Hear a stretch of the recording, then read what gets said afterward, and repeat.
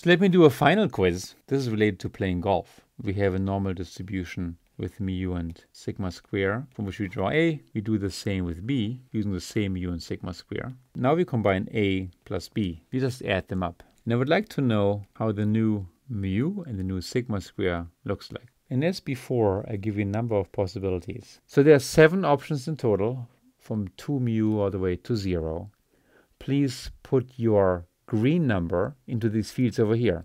So this will be a number between 1 and 7, and it indicates that the corresponding term is the correct answer for mu prime and sigma prime square.